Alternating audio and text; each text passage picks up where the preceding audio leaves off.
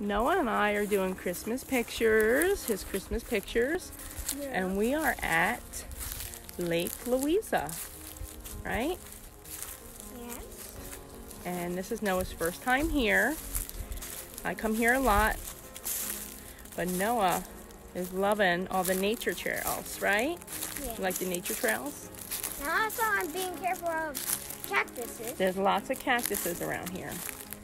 He's doing great. Look how And handsome my boy looks. He's so handsome.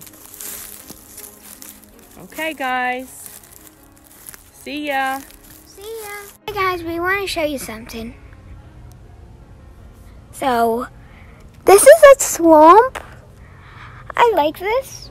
I like this tree also because it was fun to hang on.